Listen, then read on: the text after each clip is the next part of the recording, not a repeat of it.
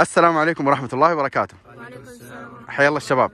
الله يحييك. الشباب سريعا آخر ثلاثة أشهر كم كتاب قرأت يا معاذ؟ ثمانية كتب.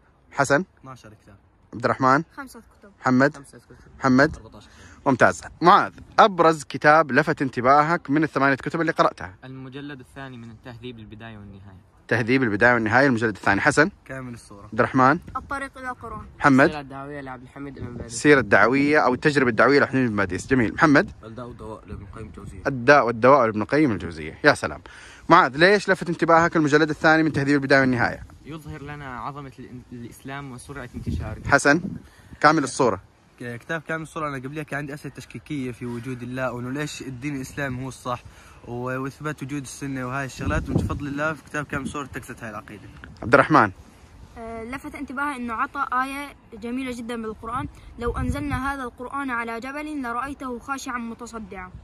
يعني لو هذا القرآن نزل على جبل لرأيته راح تشوفه خ- متشتت ومتكسر من عظمة وخشية الله. فكيف لو نزل على إنسان؟ جميل. والتجربة الدعوية. عبد الحميد بن باديس. عبد الحميد بن باديس كان مركز يعني على نقطة مثل قوية إنه هي نقطة الشباب.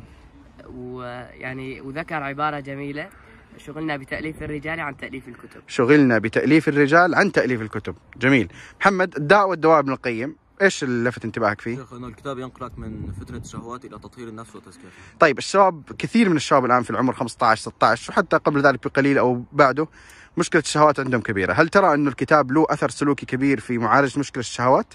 طبعا شيخ. جميل جدا. طيب حسن آه الآن ممكن آه بعض اللي يتابعوا المقطع ممكن يقولوا يا جماعة أنتم عايشين في وادي غير اللي عايشين فيه الشباب. إيش اللي 12 كتاب و14 كتاب خلال ثلاثة أشهر؟ يعني آه هل آه هل هذا فيه فائدة فعلا؟ آه إيش الفائدة أصلا من القراءة؟ والشيء الثاني إنه أنتم تخاطبوا من حتى ممكن يستفيدوا من كلامكم. أسألك سؤال. هسه في حياة أصلا بدون قراءة؟ الواحد أصلا الحياة كيف تصير بدون قراءة؟ الواحد كيف بده يفهم دينه؟ الواحد كيف بده يعرف يعبد ربه؟ الواحد كيف بده يخشى ربه؟ إنما يخشى الله من عباده العلماء.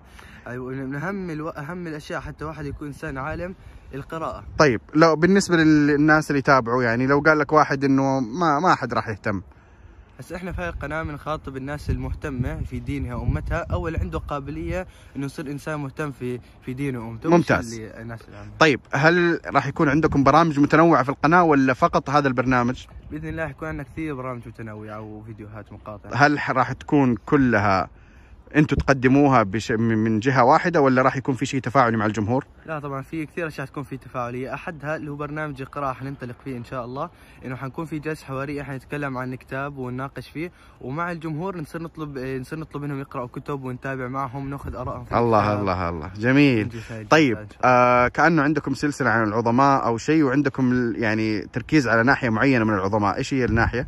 هاي اللي هي العظماء اللي برزوا في عمر الجيل الصاعد هسه العظماء اللي برزوا في عمرنا بدنا نقدم نقدم عن سيرتهم بحيث نقتدي فيهم إن شاء الله. ممتاز. الله يعطيكم العافية يا شباب والسلام عليكم ورحمة الله وبركاته. السلام.